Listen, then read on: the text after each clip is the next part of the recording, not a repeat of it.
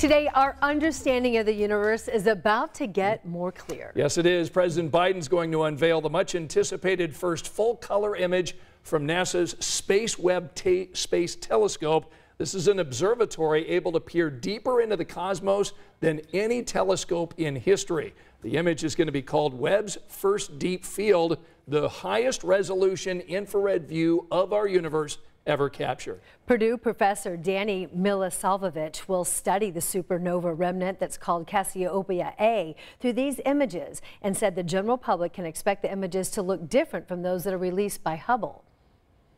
Uh, Webb has been designed to look as far back into the early universe such that we can observe the first stars associated with the first galaxies that formed in the early universe, an epoch that we've been largely uh, unable to access. So uh, it is terribly exciting and transformational.